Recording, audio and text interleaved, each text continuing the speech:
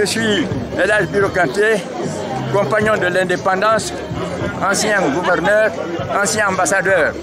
Et là, vous venez de participer à la célébration du 58e anniversaire de la fête de l'indépendance. Oui. Quel est votre sentiment aujourd'hui?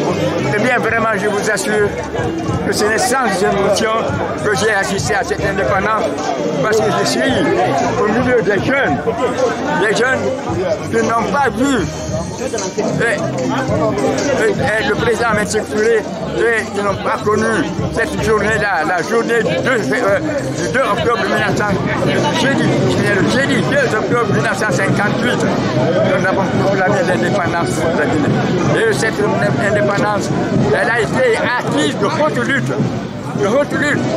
Car après la proclamation de l'indépendance, je vous assure qu'une lutte, une guerre acharnée est livrée contre la Guinée. Nous avons assumé.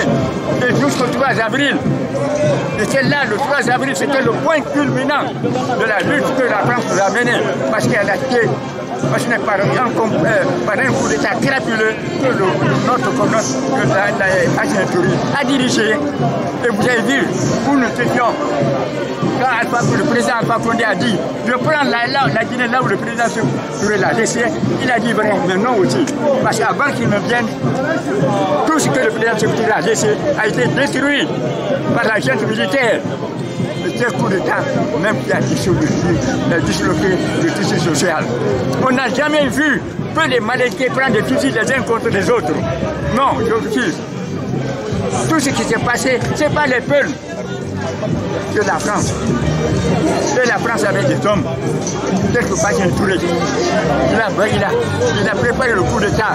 Voyez son dernier entretien avec Yamoussa Touré. Vous comprendrez que franchement, franchement, la Guinée de souffert, que vous avez souffert. Est-ce qu'il y a une différence aujourd'hui dans la célébration de cette fête à votre temps, au temps du premier régime et en ce moment, parce qu'aujourd'hui on a vu moins de mobilisation Eh oui, bah, vous, savez, vous savez, en ce temps-là, le peuple était motivé, conscient.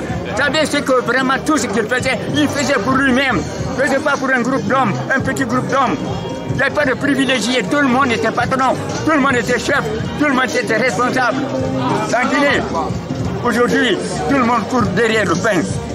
Tout le monde. Et vous tous, combien d'entre vous ont du travail? Non. Vous êtes journaliste, vous avez des petits qui tournent autour de vous, qui, sont diplômés, sortis de la chose. Or, en notre temps, tu sors de l'université, tu as du travail. Il va me dire que ça ne te suffit pas, mais le minimum vital était assuré à tout le monde. Et pourquoi aujourd'hui, tout le monde court derrière le pain Et vous, personne n'abandonnera ça pour venir vous arrêter près de vous ici, pour regarder ce drapeau et machin. Merci. C'est ça ce qui nourrit le peuple. Merci. Voilà, nous, nous avons fait tout, tout au service du peuple. Alpha. De Guinée. Je vous assure. Merci, Merci.